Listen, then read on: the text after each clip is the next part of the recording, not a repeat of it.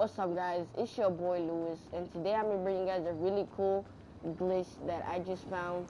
I saw this glitch on YouTube and I'll leave the link in the description to the video I saw so please make sure you check them out.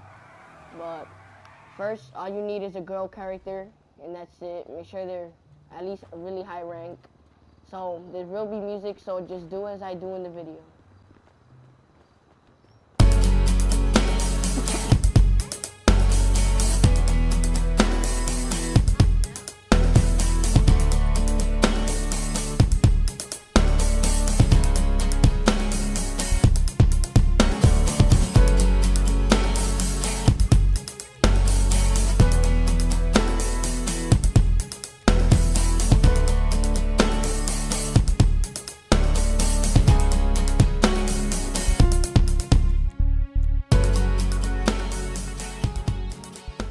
So I hope you enjoyed that quick glitch.